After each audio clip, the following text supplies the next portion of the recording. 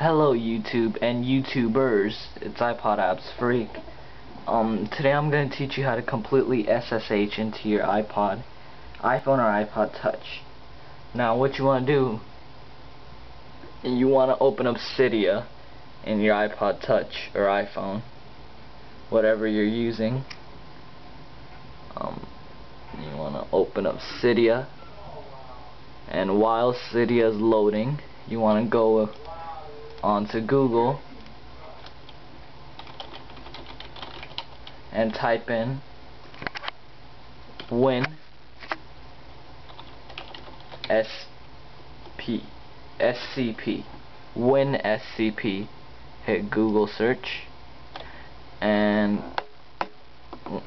click on the first link and click on the newest one which is the release version download an installation package and you want to download that. So once you download that what you want to do while when your Cydia is open is you want to search open SSH open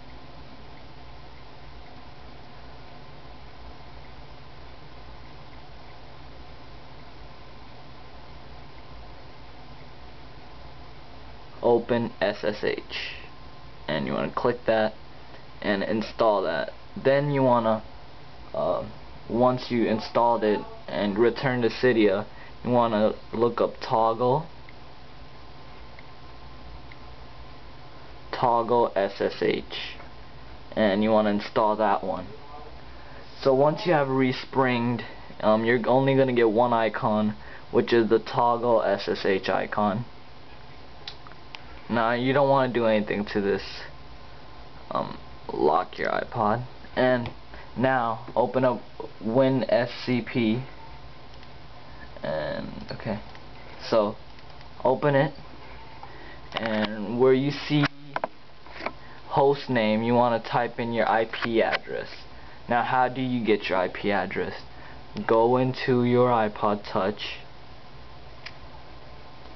Go into settings and as you see I'm connected to two wire. And two wire and once you hit the blue arrow once you hit the blue arrow right there it's gonna show you your IP address.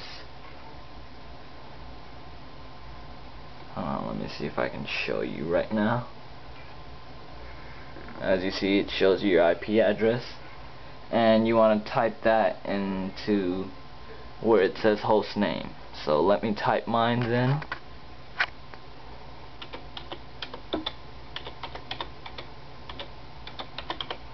okay and your username is gonna be root R O O T. And your um password right there your password is gonna be alpine. A L P I N E. And you want to hit login and once it logs in